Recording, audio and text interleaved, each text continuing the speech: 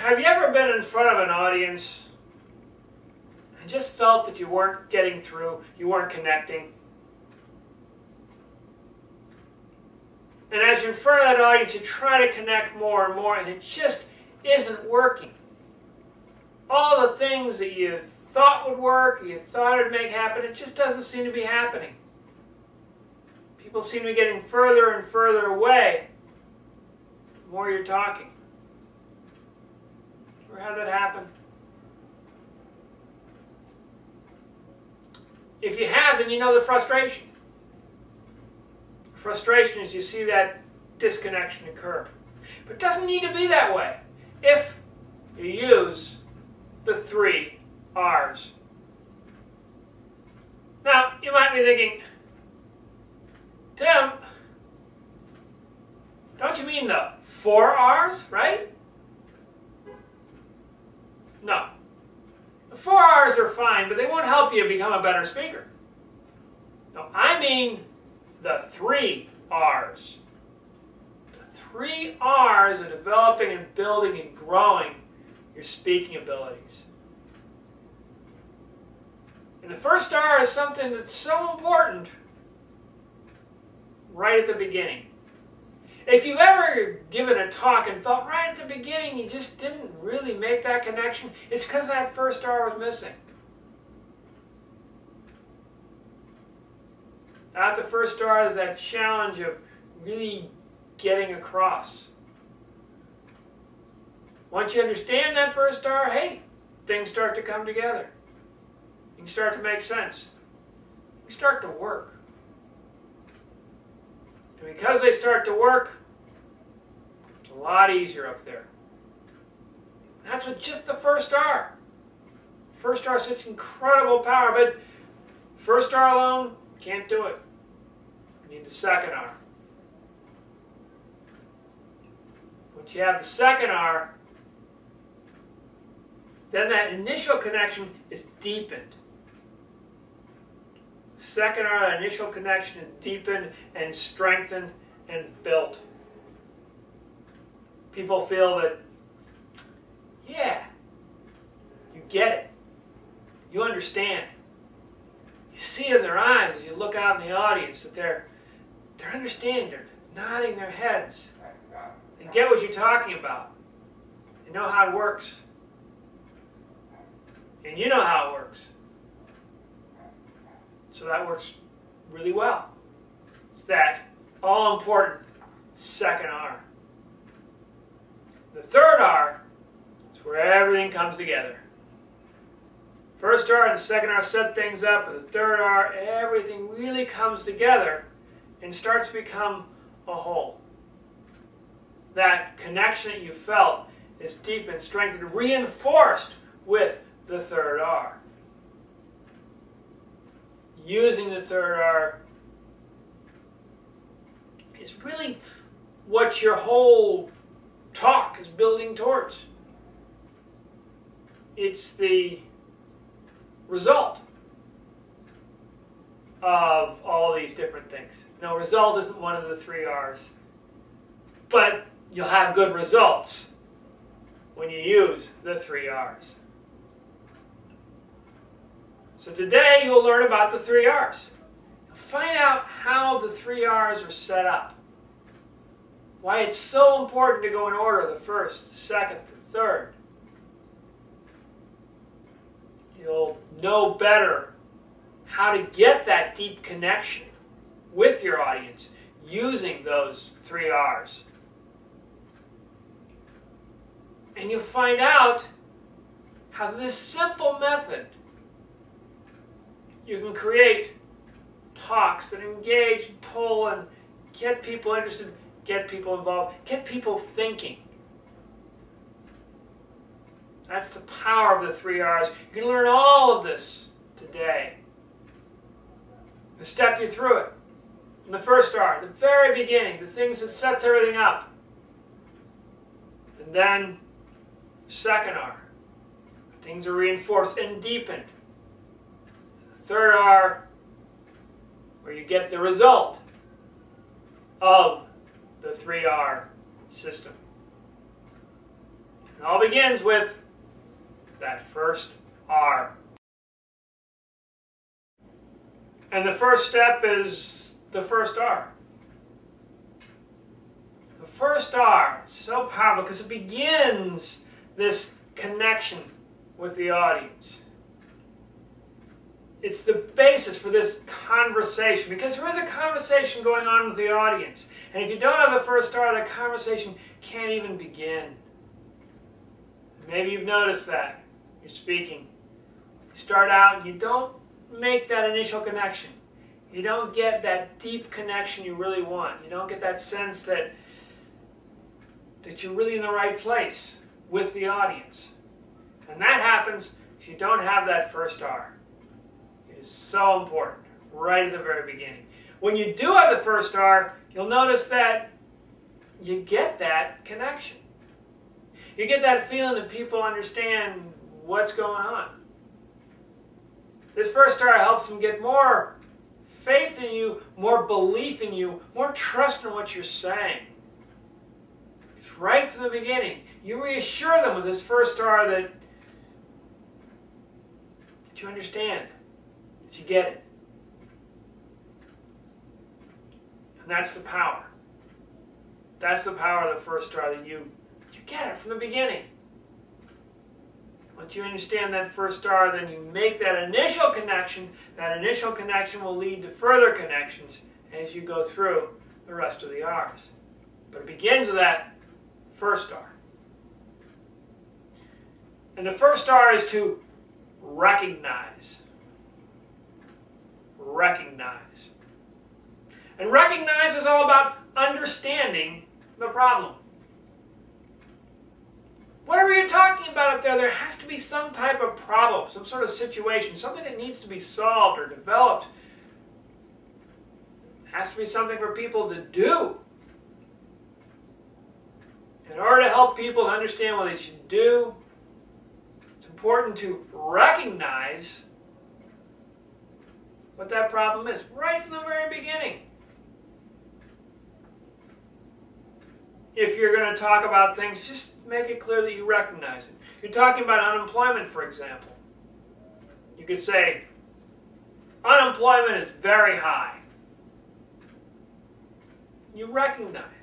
You recognize that there's a problem with unemployment. You recognize what that, what that problem is. And when you recognize things, you can get the audience to connect in. Maybe a little nodding their heads. The audience starts thinking, yeah, that's right. Unemployment is high. They start nodding their heads, and that nodding their heads is their way of pulling them in. See, if people are nodding and agreeing to your statements up front, they're much more likely to agree, nod and agree with any conclusions you have later on. It's that recognition of the problem. It's recognizing the problem. They get it. So if somebody is unemployed, and they think, you understand. You understand where I'm coming from. Okay, I'm going to pay attention. And even if somebody isn't unemployed, most likely they know somebody who's unemployed. So again, it's that connection by recognizing. Power that first R of recognizing. Now, some people just stop there. They just recognize and that's it. And that's kind of what their speech is. Well, unemployment is bad and unemployment is bad. It's kind of informing people, but it doesn't go far, far enough. And talk a little bit more about how to go further in the second R and the third R. But for right now, for right at the beginning, recognizing the problem. Because that shows you got a point. You're up there, you've got a definite point, you understand what the problem is. You get it. And if your audience knows you get it right from the beginning, reassures your audience. Relax, sit back a little bit and say, okay, you understand. You know where I'm coming from. And recognizing the beginning makes an all important connection with the audience right from the beginning. And it's the first step.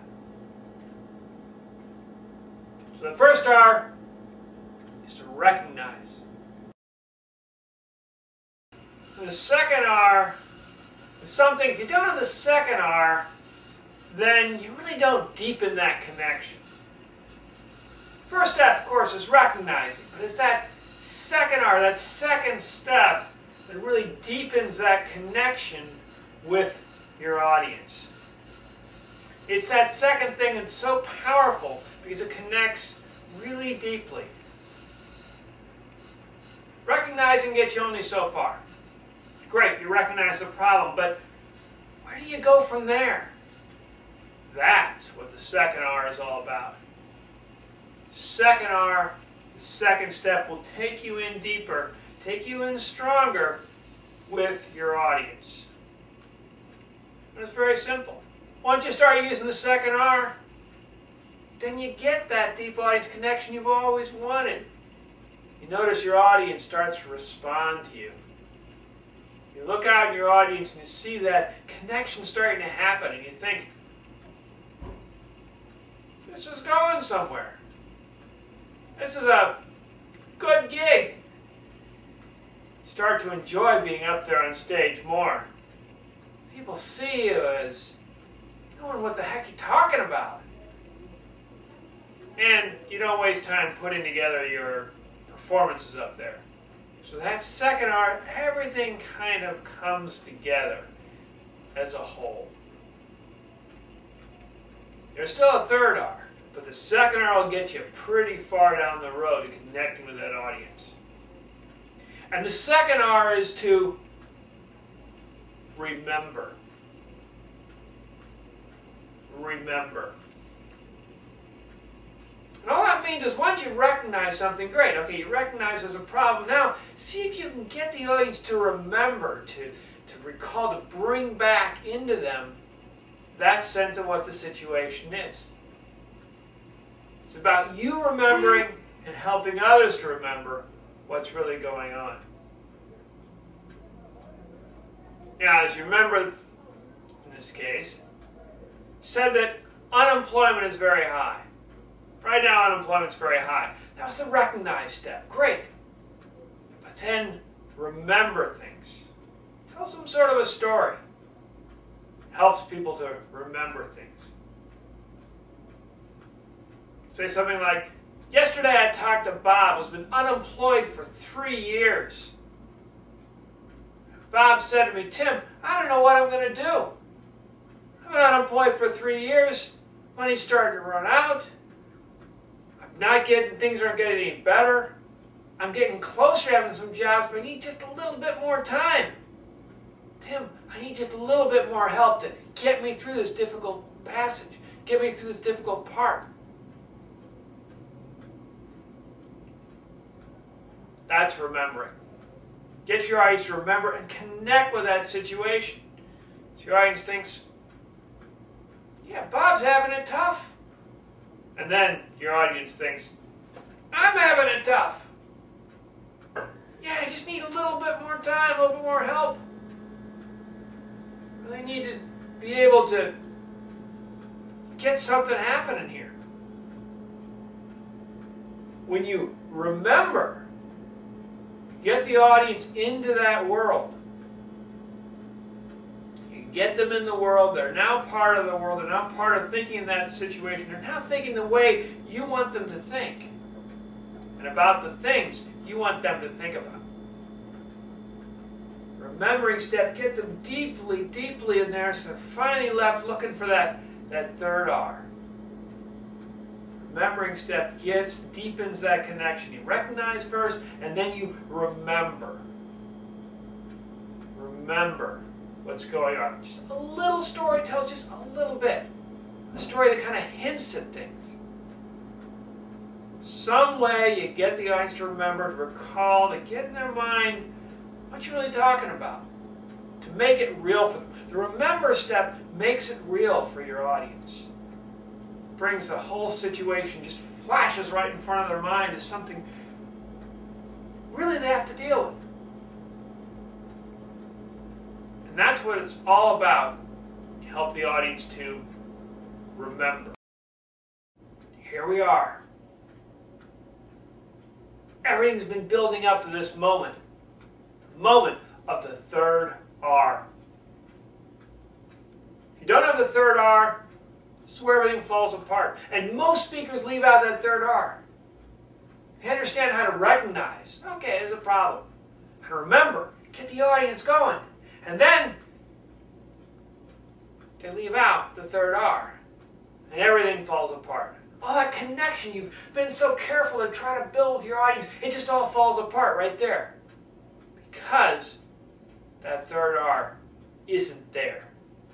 It's the third step, it's the final step, it's the most important thing. It's the thing that seals the deal.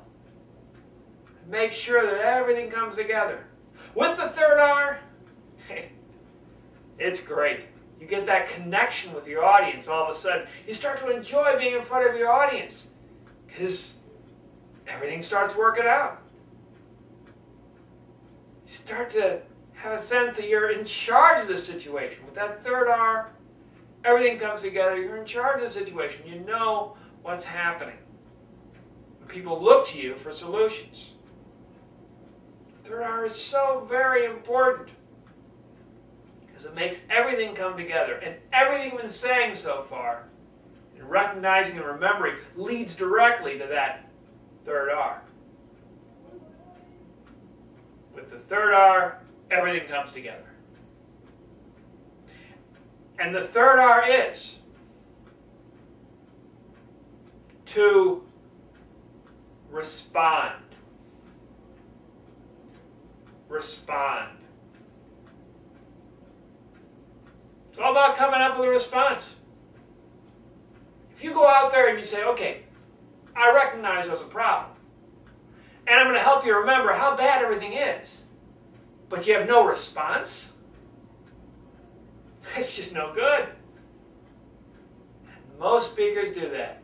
They bring up all sorts of problems and talk about, oh, things are really bad, but they don't have any solutions. They don't have any response. And there's really no point.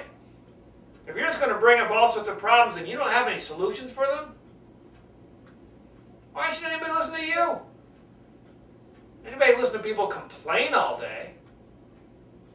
It's all about that response. Make sure that response is there.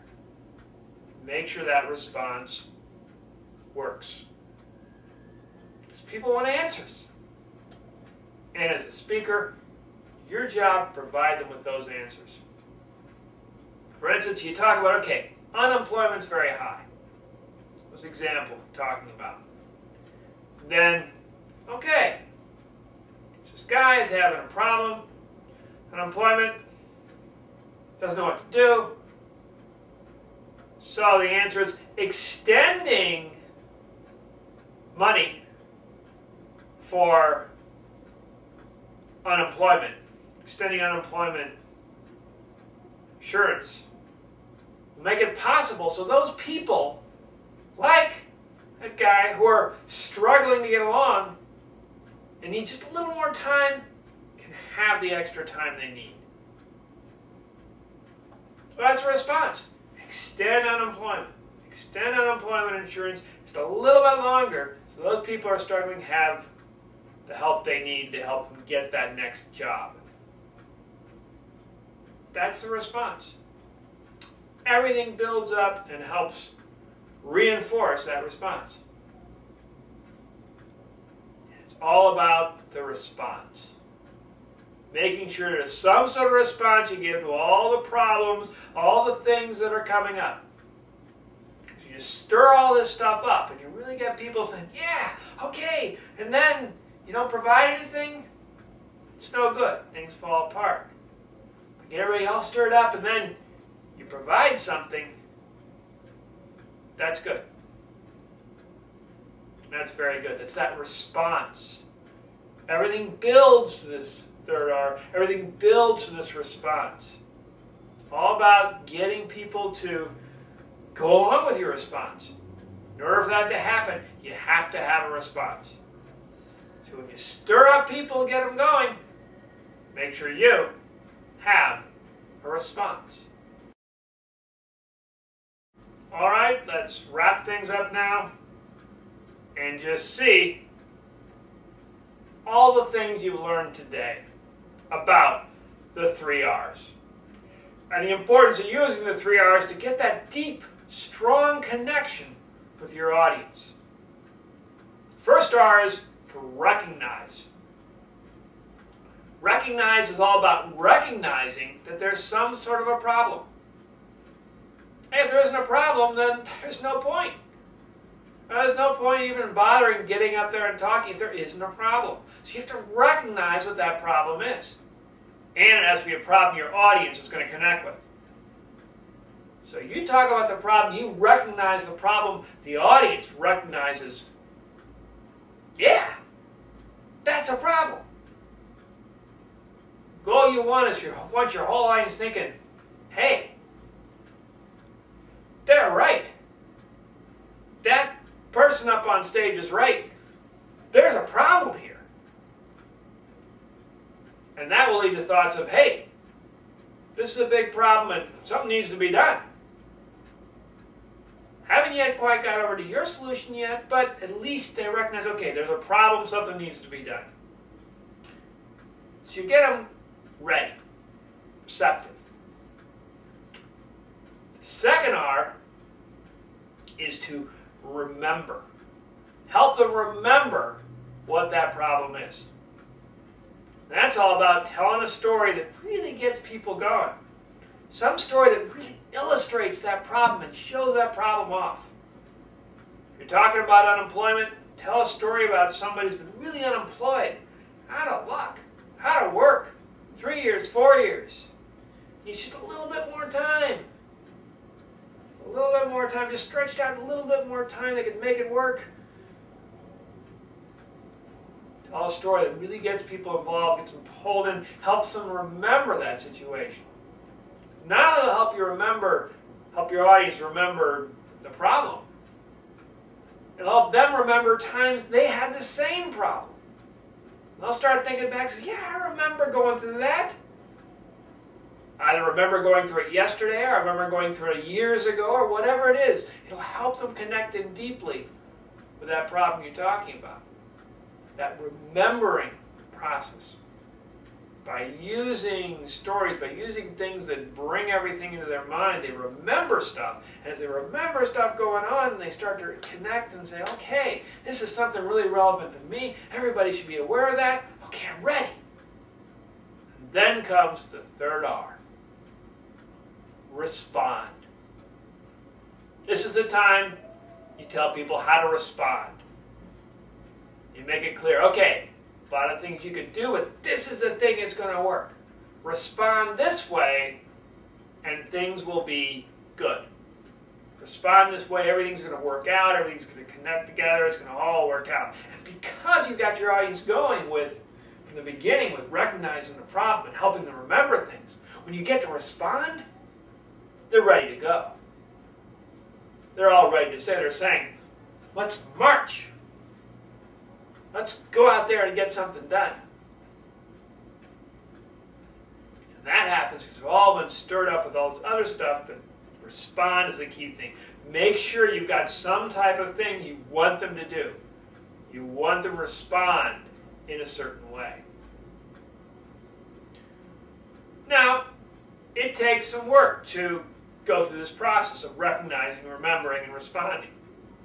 Something you need to build into your speeches. And you do that because it'll help you connect in deeper and stronger. If you don't do that, well, you don't get that deep, strong response that you're looking to get from your audience. You don't get that commitment from your audience and your ideas. The audience doesn't understand your ideas as much. They just don't get what you're talking about. Nothing seems to come together. If you do have that, recognize remember, respond, then you get that commitment. You get that deep sense of, okay, this is what needs to be done. It's what we need to work on. It's what needs to happen. You get a sense that you're doing the right thing. And your audience believes you're doing the right thing. And as your audience gets more involved and more committed to what you're talking about, so you get the same sort of feeling. Recognize, remember, respond. Use that and you'll be looking good up there. People see you on stage and you look pretty darn sharp. You won't waste the audience's time. You just come down with it. This is what it's where we are, what needs to be done, background. It'll be very clear for the audience, very clear for you when you're laying out your own speech. It's a step-by-step -step process. Each step getting them different. First, recognize, then remember, and then respond. By the time you get to respond level, you have deep commitment for the audience. And when you get that deep commitment and you look at it, all those people out there, and you see they're committed to this as you are committed to this, that's just a wonderful feeling. So you want to get that deep commitment to your audience, recognize, remember, respond.